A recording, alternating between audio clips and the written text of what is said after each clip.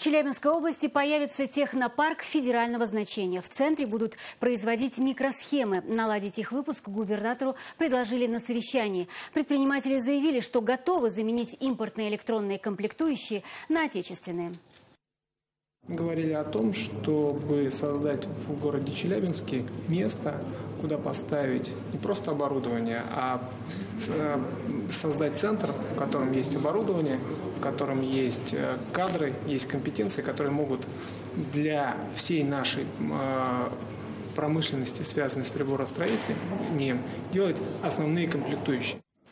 Сейчас у малых и средних предприятий нет возможности купить дорогостоящие станки для производства электродатчиков и микросхем. Оборудование стоит миллионы рублей и редко окупаются. Комплектующие на заказ приходится ждать очень долго. Крупные центры, которые их производят, перегружены заявками. Захватить весь российский рынок готова челябинская компания «Планар».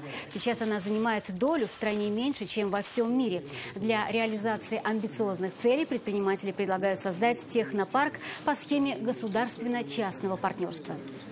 Это центр э, разработки микросхем э, по технологии Фаблис на базе Юргу и э, центр контрактного производства, как общие областные центры.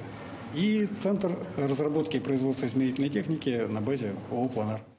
Стратегия планара будет рассмотрена правительством в течение одного-двух месяцев. Затем проект будет предложен на федеральном уровне для получения государственной поддержки.